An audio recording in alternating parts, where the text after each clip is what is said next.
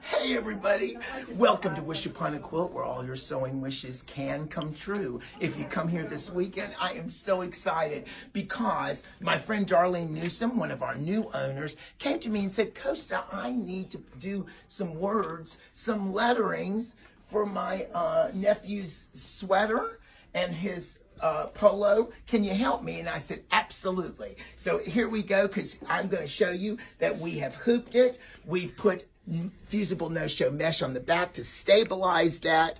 And now we put a topper so her stitches do not fall in. And we've got his name that we've already done within our 550E. This is our new machine, 550. It just came out in August. And our owners are putting a special price to it, slash prices with great packages. So come on down. I'm going to start this and then we're going to show you the finished product on how cool. Darlene has chosen, Darlene has chosen, hey. oh my, oh, I got hit, okay. Darlene has chosen a gray thread to do this, so we are ready to go. And it's going to move in its position, and we are ready to go. Here we go.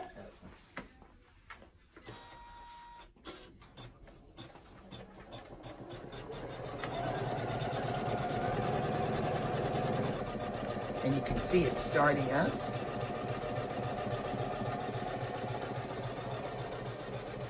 Beautiful. Beautiful choice.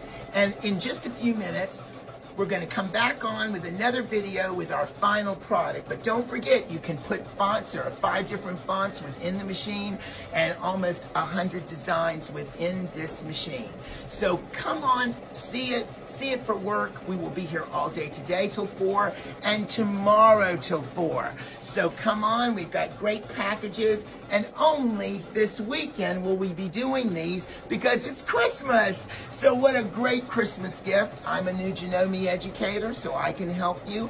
I'll be here. You can even make an appointment with me, even after four. If you feel like you want to do it after work, I will be here to help you choose the right machine for you or for your loved ones. See you soon.